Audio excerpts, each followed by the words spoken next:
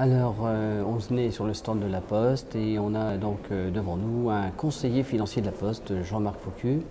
Alors, Jean-Marc, euh, je voudrais que vous nous parliez des placements que les associations peuvent donc prendre à la Poste. Des placements bien sûr disponibles, rentables. Alors, qu'est-ce qu'on a comme panel au niveau des placements? Les associations peuvent donc épargner sur des, sur des SICAV sans avoir d'emploi payé, avec une disponibilité, permanente, dont les SICAV par rapport aux livreurs ont un meilleur, un meilleur taux de, rendement et donc disponibles en permanence. Donc je pense que par rapport aux trésoreries, euh, je ne sais pas si, beaucoup d'associations sont renseignées par rapport à leur compte quand ils ont, ils ont ouvert avec, euh, avec le président, mais ils peuvent adhérer pratiquement à n'importe quel type de placement.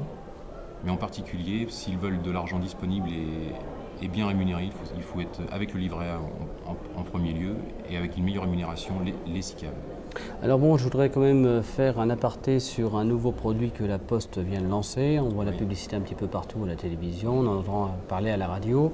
Il s'agit de CCPargne. Est-ce qu'on pourrait éventuellement proposer du CCPargne à une association qui le voudrait? Oui, alors enfin, CCPAGNE euh, est directement, principalement fait pour les, particuliers, mais les associations peuvent, peuvent en bénéficier dans le cadre, avec un livret à rémunérer leur trésorerie, quand c'est possible chaque mois, donc avec les mouvements de fonds qu'il y a sur les CCP, sur le livret A, uniquement. Eh bien, donc, on va euh, rappeler euh, l'adresse euh, des conseillers financiers de Rouen RP qui participent bien sûr à cette manifestation du Forum des associations de Normandie. C'est 45 bis rue Jeanne d'Arc, c'est le plus grand bureau de Rouen. Hein. et puis, il y a quatre conseillers financiers, donc il y a de quoi recevoir la clientèle du milieu associatif. Monsieur Jean-Marc Foucu, bah, je vous remercie beaucoup.